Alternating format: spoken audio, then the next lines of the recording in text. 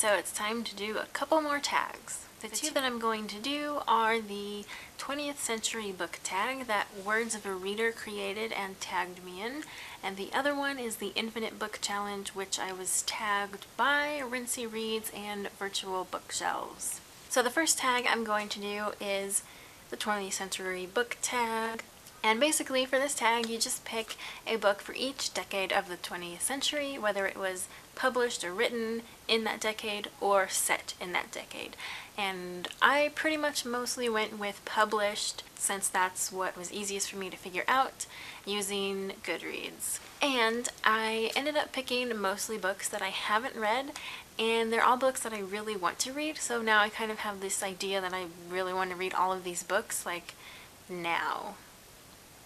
But anyways, let's get on to the books. For the 1900s or the aughts, I picked A Little Princess by Frances Hodgson Burnett, which was published in 1905. This was one of my favorite movies growing up, and I did enjoy The Secret Garden as well as a movie and book, so I'm really looking forward to reading this one eventually. For the 1910s, I chose My Antonia by Willa Cather. This was published in 1918. I don't really know a whole lot about this, just that it's supposed to be pretty good, and I definitely love the cover. It's a fairly short book, and I like that lately.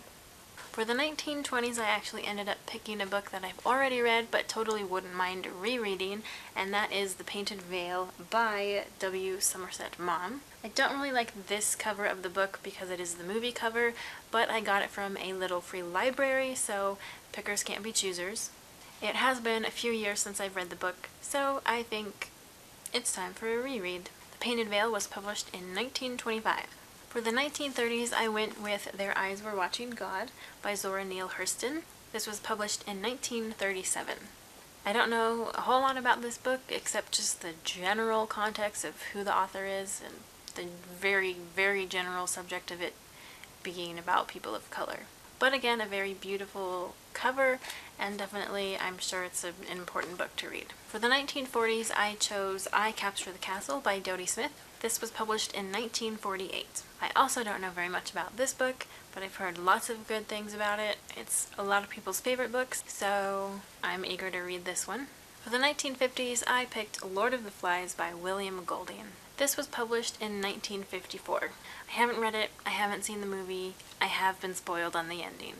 For the 1960s, I chose A Wizard of Earthsea by Ursula K. Le Guin, which was published in 1968. I have mentioned this one recently in my paperback swap haul video, so that's all I'll say about it in this video. For the 1970s, I chose The Optimist's Daughter by Eudora Welty. This book showed up in Gilmore Girls. Rory was reading it in her bed in the first few seasons, and that's really all I know about this book.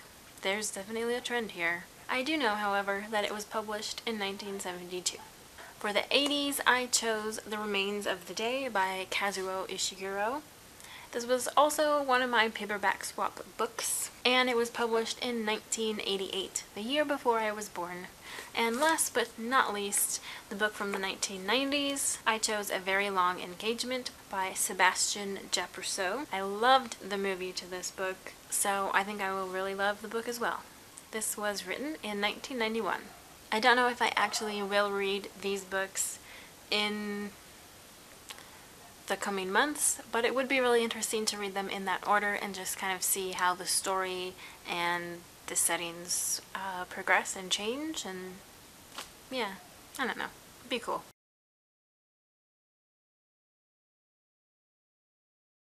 So, I'm actually filming this part first, so I don't have the books in uh, the other tag in my head as I do this.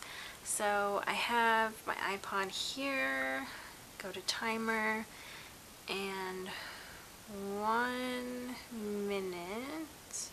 So here it is um, and start. So uh, Pride and Prejudice, Sense and Sensibility, Northanger Abbey, Emma, Mansfield Park, Harry Potter and the Sorcerer's Stone, Harry Potter and the Chamber of Secrets, Harry Potter and the Prisoner of Azkaban, Harry Potter and the Order of the Phoenix, Harry Potter and the Goblet of Fire, Harry Potter and the Deathly Hallows.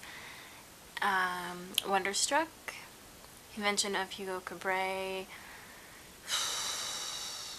mm, like Water for Chocolate, The Virgin Suicides, Middlesex, um, The Man Who Mistook His Wife for a Hat, uh, Charlie and the Chocolate Factory, Matilda, and uh, it, there it goes. Timer done. The second light. Okay. So, I don't know how many I just counted, but I'll add that up in post.